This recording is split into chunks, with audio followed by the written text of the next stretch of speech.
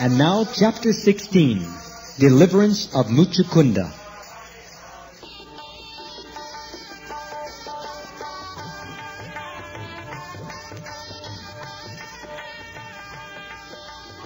When Krishna entered the cave of the hill, Kalayavan followed, chastising him with various harsh words.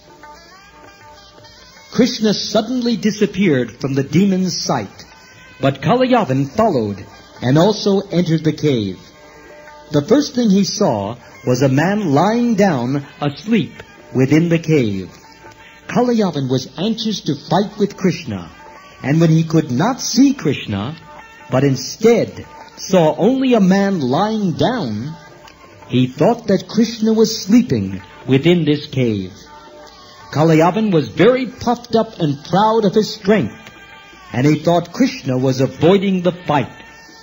Therefore he strongly kicked the sleeping man, thinking him to be Krishna. The sleeping man had been lying down for a very long time. When awakened by the kicking of Kalayavan, he immediately opened his eyes and began to look around in all directions. At last, he saw Kalayavan standing nearby. This man was untimely awakened and therefore very angry, and when he looked upon Kalayavan in his angry mood, rays of fire emanated from his eyes, and Kalayavan burned to ashes within a moment.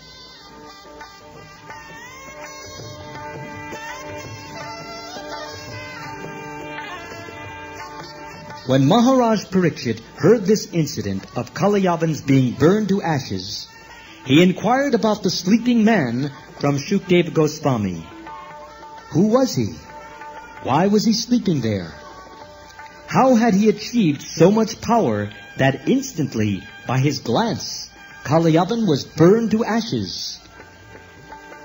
How did he happen to be lying down in the cave of the hill?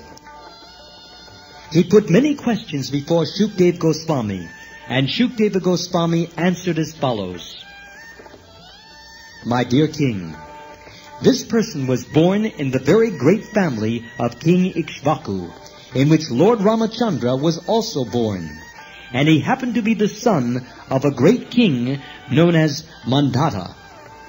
He himself was also a great soul, and was known popularly as Muchukunda.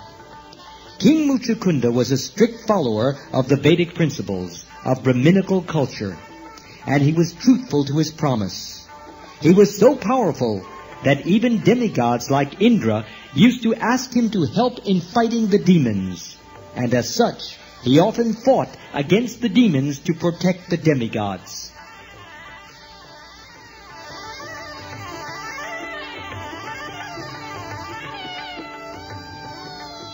The commander-in-chief of the demigods, known as Kartikeya, was satisfied with the fighting of King Muchukunda.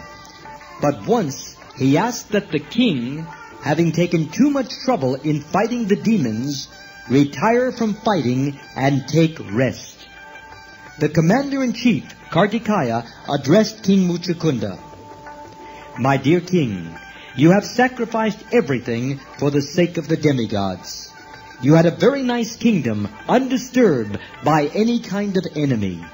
But you left that kingdom, neglected your opulence and possessions, and never cared for fulfillment of your personal ambitions.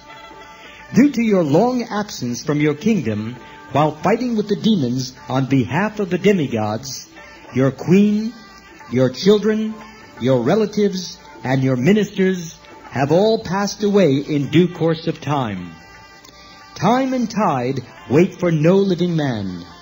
Now, even if you retire to your home, you will find no one living there. The influence of time is very strong. All your relatives have passed away in due course of time.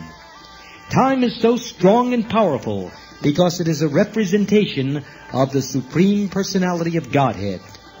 Time is therefore stronger than the strongest. The influence of time can effect changes in subtle things without difficulty. No one can check the process of time. As an animal tamer tames animals according to his will, time also enters things according to its own will. None can supersede the arrangement made by supreme time.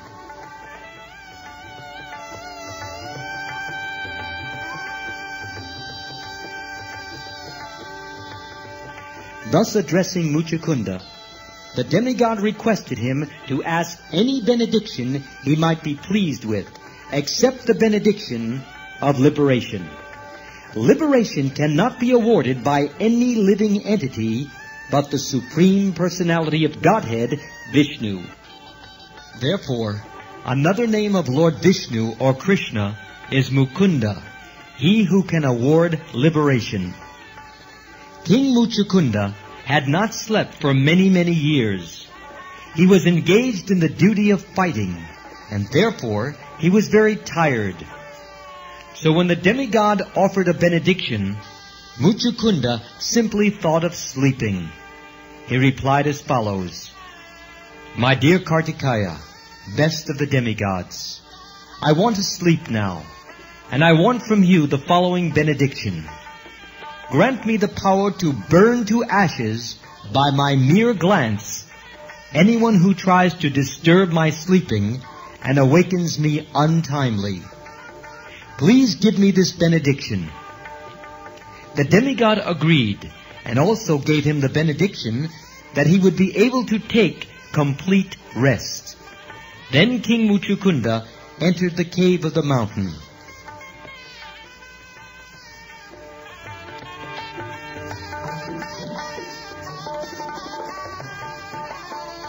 On the strength of the benediction of Kartikeya, Kalayavan was burned to ashes simply by Muchukunda's glancing at him. When the incident was over, Krishna came before King Muchukunda. Krishna had actually entered the cave to deliver King Muchukunda from his austerity, but Krishna did not appear before him first. He arranged that Kalayavan should come before him. That is the way of the activities of the Supreme Personality of Godhead. He does one thing in such a way that many other purposes are served. He wanted to deliver King Muchukunda, who was sleeping in the cave, and at the same time, he wanted to kill Kalayavan, who had attacked Mathura city. By this action, he served all purposes.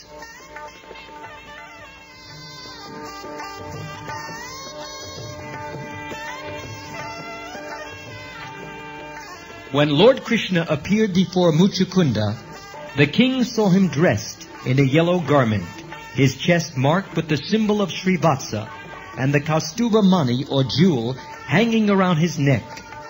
Krishna appeared before him with four hands as Vishnu Murti, with a garland called Vaijayanti hanging from his neck down to his knees. He looked lustrous. His face was beautifully smiling and he had nice jeweled earrings in both his ears. Krishna appeared more beautiful than a human can conceive. Not only did he appear in this feature, but he glanced over Muchukunda with great splendor, attracting the king's mind. Although he was the supreme personality of Godhead, the oldest of all, he looked like a fresh young boy, and his movements were just like those of a free deer. He appeared extremely powerful. His influence and vast power are so great that every human being should be afraid of him.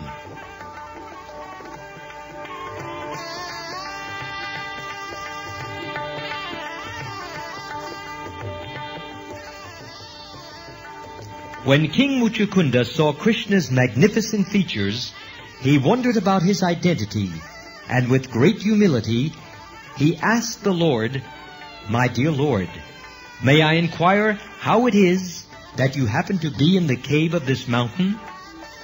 Who are you? I can see that your feet are just like soft lotus flowers. How could you walk in this forest full of thorns and hedges? I am simply surprised to see this. Are you not therefore the supreme personality of Godhead, the most powerful amongst the powerful? Are you not the original source of all illumination and fire? Can I consider you one of the great demigods like the sun, the moon, or Indra, king of heaven? Or are you the predominating deity of any other planet? Muchukunda knew well that every higher planetary system has a predominating deity. He was not ignorant like modern men who think that this planet Earth is full of living entities and all others are vacant. The inquiry from Muchukunda about Krishna's being the predominating deity of a planet unknown to him is quite appropriate. Because he was a pure devotee of the Lord, King Muchukunda could immediately understand that Lord Krishna, who had appeared before him in such an opulent feature, could not be one of the predominating deities in the material planets. He must be the supreme personality of Godhead, Krishna, who has his many Vishnu forms. He therefore took him to be Purushottam, Lord Vishnu.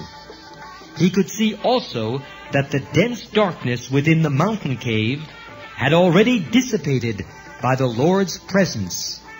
Therefore, he could not be other than the Supreme Personality of Godhead. He knew very well that wherever the Lord is personally present by his transcendental name, quality, form, and so on, there cannot be any darkness of ignorance. He is like a lamp placed in the darkness. He immediately illuminates a dark place.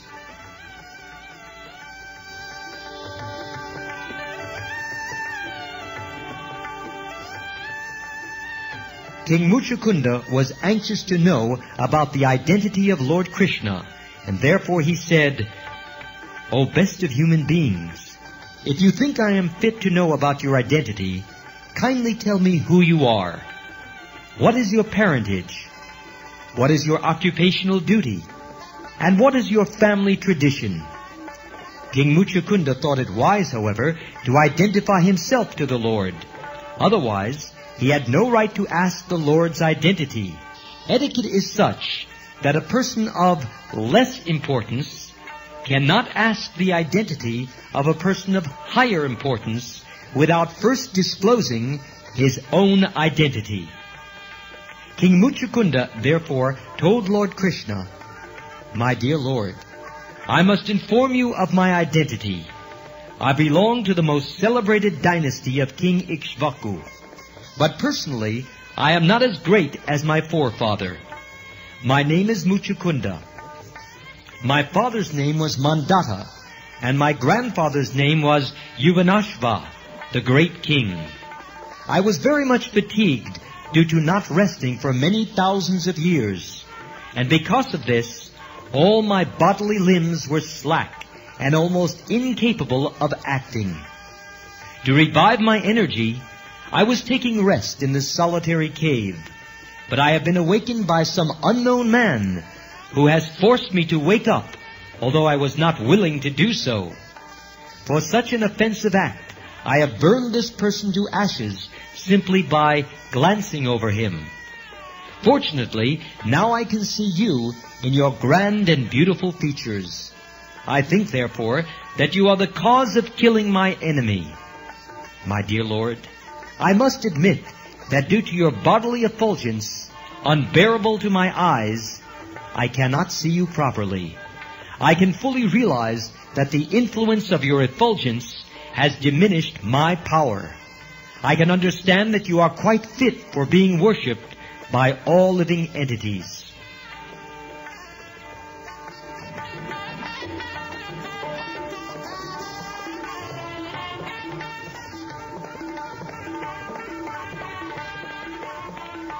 Seeing King Muchukunda anxious to know about his identity, Lord Krishna answered smilingly as follows.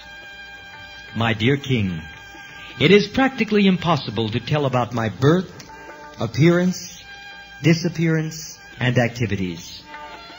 Perhaps you know that my incarnation, Anantadev, has unlimited mouths, and for an unlimited time, he has been trying to narrate fully about my name, fame, qualities, activities, appearance, disappearance, and incarnations. But still, he has not been able to finish. Therefore, it is not possible to know exactly how many names and forms I possess.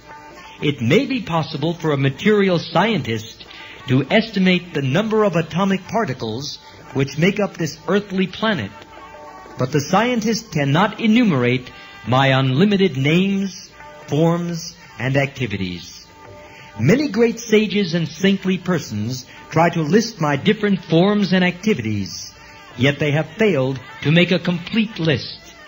But since you are so anxious to know about me, I may inform you that I have now appeared on this planet just to annihilate the demoniac principles of the people in general and reestablish the religious principles enjoined in the Vedas.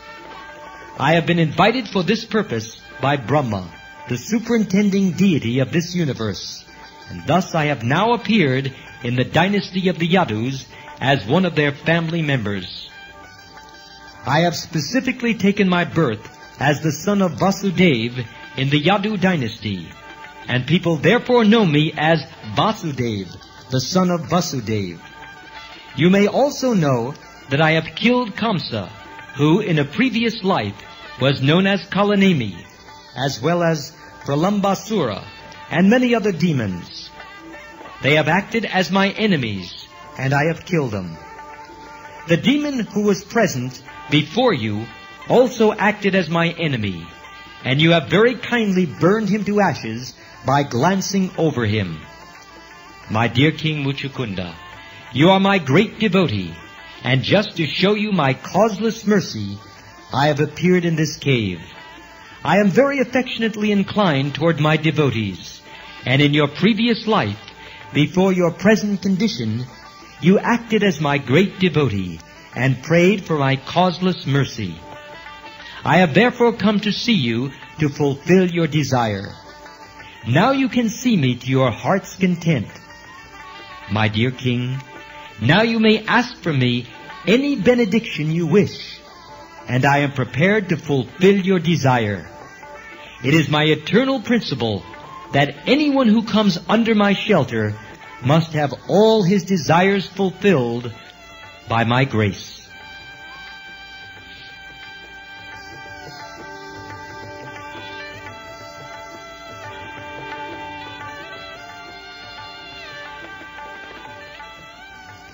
When Lord Krishna ordered King Muchukunda to ask a benediction from him, the king was joyful, and he immediately remembered the prediction of Gargamuni, who had foretold long before that in the 28th millennium of Vaivasvata Manu, Lord Krishna would appear on this planet. As soon as he remembered this prediction, he began to understand that the Supreme Person, Narayan, was present before him as Lord Krishna. He immediately fell down at his lotus feet and began to pray as follows. My dear Lord, O Supreme Personality of Godhead, I can understand that all living entities on this planet are illusioned by your external energy and enamored of the illusory satisfaction of sense gratification. Being fully engaged in illusory activities, they are reluctant to worship your lotus feet. And because they are unaware of the benefits of surrendering unto your lotus feet, they are subjected to various miserable conditions of material existence. They are foolishly attached to so-called society, friendship, and love, which merely produce different kinds of miseries.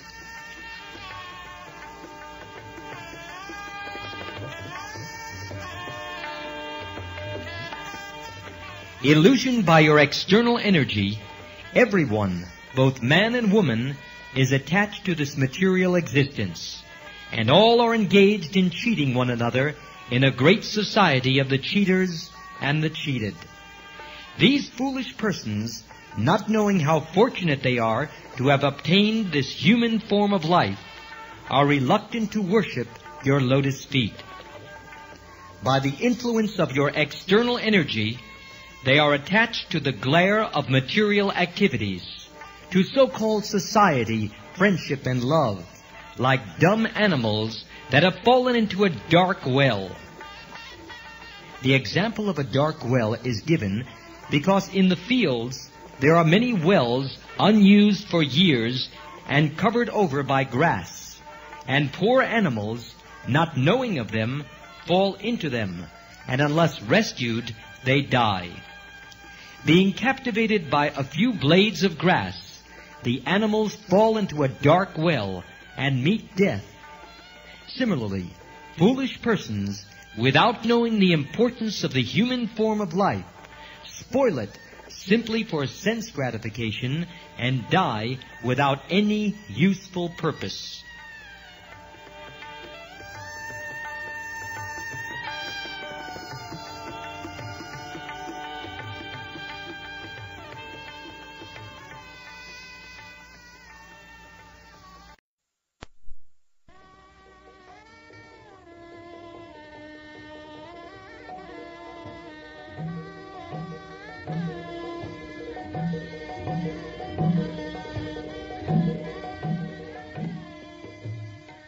Dear Lord, I am not an exception to this universal law of material nature. I am also a foolish person who has wasted his time for nothing. And my position is especially difficult. On account of my being situated in the royal order, I was more puffed up than ordinary persons. An ordinary man thinks he is the proprietor of his body or his family. But I began to think in that way on a larger scale. I wanted to be the master of the whole world. And as I became puffed up with ideas of sense gratification, my bodily concept of life became stronger and stronger. My attachment for home, wife, and children, for money and supremacy over the world, became more and more acute. In fact, it was limitless. So I remained always attached to thoughts of my material living conditions.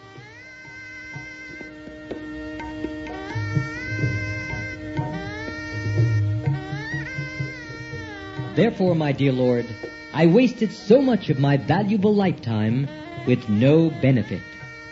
As my misconception of life intensified, I began to think of this material body, which is just a bag of flesh, bones, as the all in all.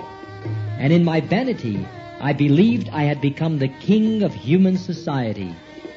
In this misconception of bodily life, I began to travel all over the world, accompanied by my military strength, soldiers, charioteers, elephants, and horses. Assisted by many commanders and puffed up by power, I could not trace out your lordship, who always sit within my heart as the most intimate friend.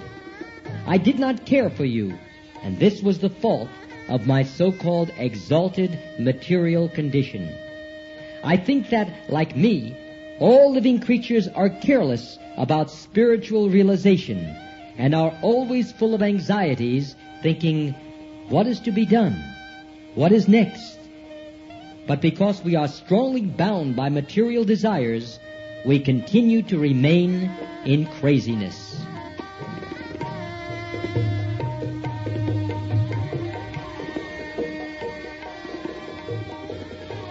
Yet in spite of our being so absorbed in material thought, inevitable time, which is only a form of yourself, is always careful about its duty. And as soon as the allotted time is over, your lordship immediately ends all the activities of our material dreams. As the time factor, you end all our activities as a hungry black snake swiftly swallows up a small rat without leniency. Due to the action of cruel time, the royal body, which was always decorated with gold ornaments during life, and which moved on a chariot drawn by beautiful horses, or on the back of an elephant nicely decorated with golden ornaments, and which was advertised as the king of human society, that same royal body decomposes under the influence of inevitable time and becomes fit for being eaten by worms and insects, or being turned into ashes or the stool of an animal. This beautiful body may be recognized as a royal body while in the living condition, but after death, the body of even a king is eaten by an animal and therefore turned to stool, or is cremated in a crematorium and turned to ashes, or is put into an earthly grave where different kinds of worms and insects are produced of it.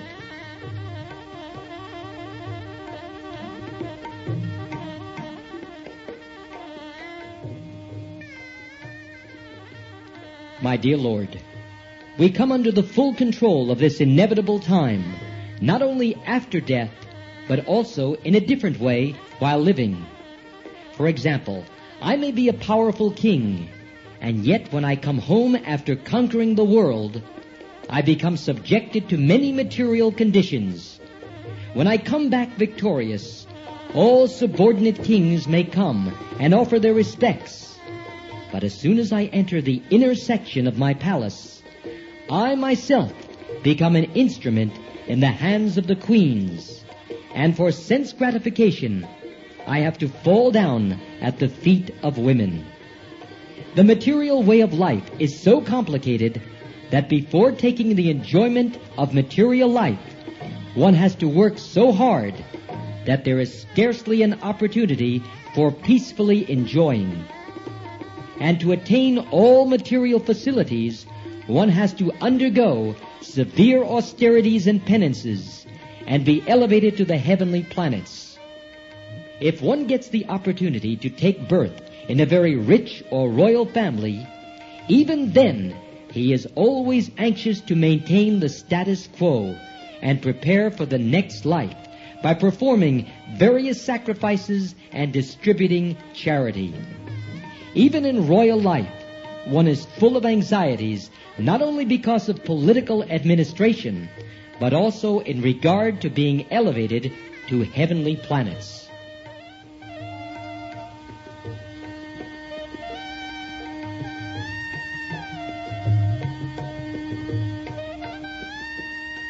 It is therefore very difficult to get out of material entanglement. But if one is somehow or other favored by you, by your mercy alone, he is given the opportunity to associate with a pure devotee. That is the beginning of liberation from the entanglement of material, conditional life. My dear Lord, only by the association of pure devotees is one able to approach your Lordship, who are the controller of both the material and spiritual existences.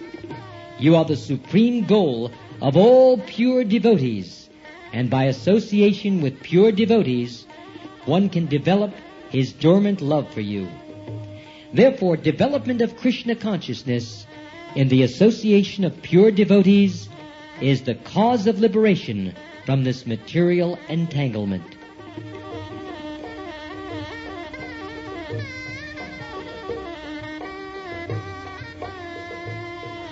My dear Lord, you are so merciful that in spite of my being reluctant to associate with your great devotees, you have shown your extreme mercy upon me as a result of my slight contact with such a pure devotee as Gargamuni. By your causeless mercy only have I lost all my material opulences, my kingdom, and my family. I do not think I could have gotten rid of all these entanglements without your causeless mercy. Kings and emperors sometimes accept a life of austerity to forget their royal life. But by your special, causeless mercy, I have already been bereft of royalty. Other kings exert themselves to get free from attachment to kingdom and family by accepting the hardships of renunciation. But by your mercy, I do not need to become a mendicant or to practice renunciation.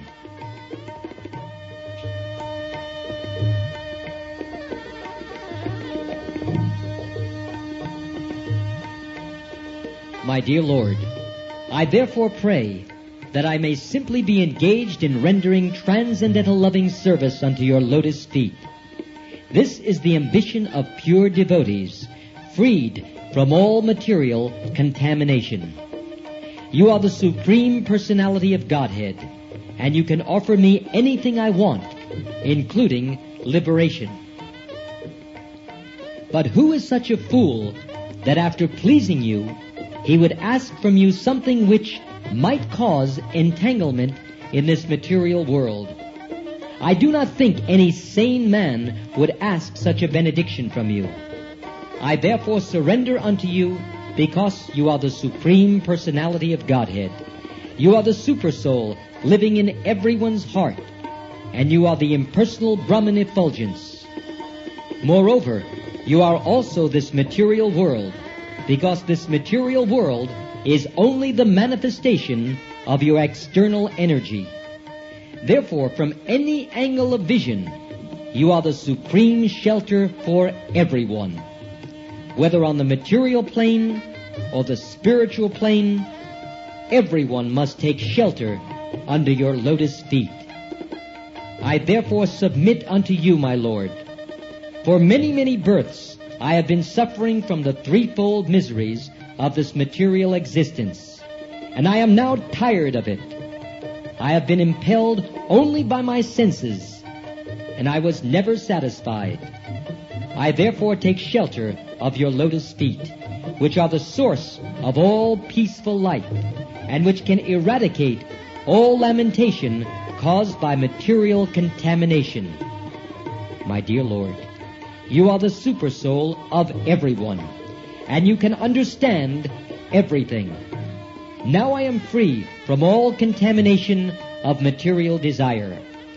I do not wish to enjoy this material world, nor do I wish to take advantage of merging into your spiritual effulgence, nor do I wish to meditate upon your localized aspect of Paramatma, for I know that simply by taking shelter of you, I shall become completely peaceful and undisturbed.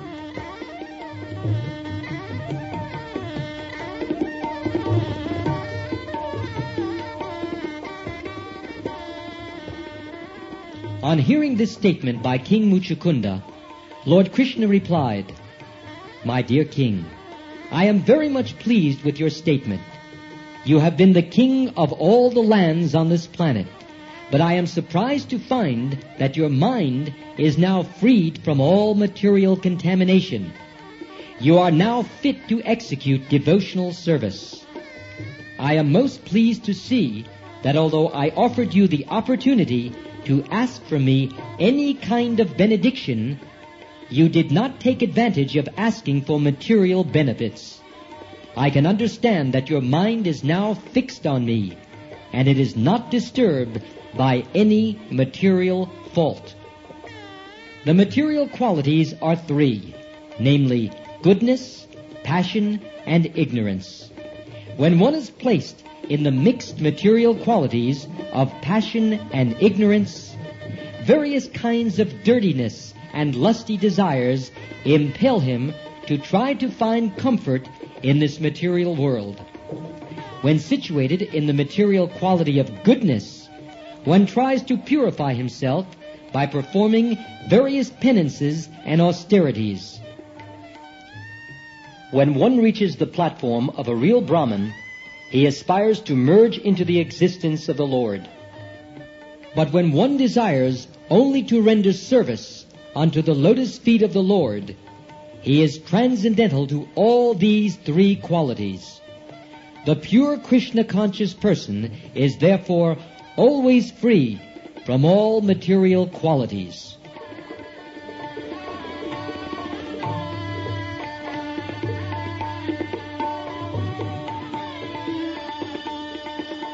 My dear King, I offer to give you any kind of benediction just to test how much you have advanced in devotional service. Now I can see that you are on the platform of the pure devotees, for your mind is not disturbed by any greedy or lusty desires of this material world. The yogis who try to elevate themselves by controlling the senses and who meditate upon me by practicing the breathing exercises of pranayam are not so thoroughly freed from material desires. It has been seen in several cases that as soon as there is allurement, such yogis again come down to the material platform. The vivid example verifying this statement is Vishvamitra Muni. Vishvamitra Muni was a great yogi who practiced pranayam, a breathing exercise. But when he was visited by Menaka, a society woman of the heavenly planet, he lost all control and begot in her a daughter named Shakuntala. But the pure devotee Haridas Thakur was never disturbed, even when all such allurements were offered by prostitutes.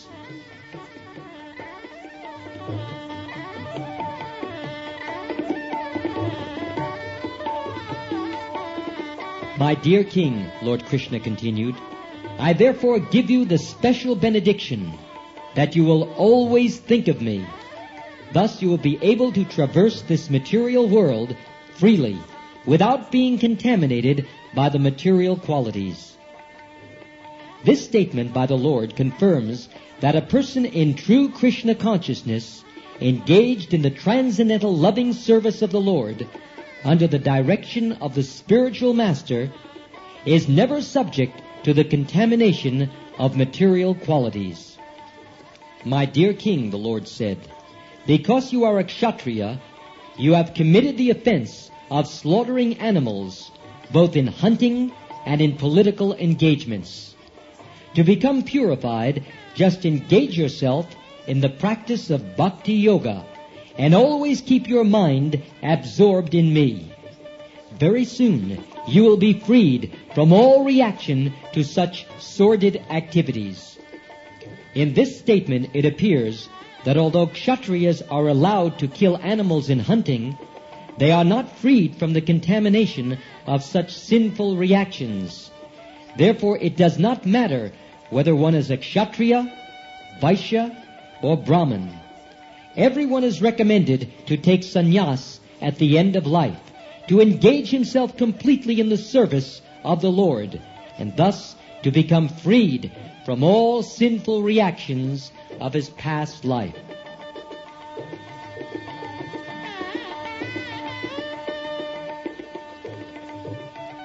The Lord then assured King Muchukunda, In your next life, you will take your birth as a first-class Vaishnav, the best of Brahmins, and in that life, your only business will be to engage yourself in my transcendental service.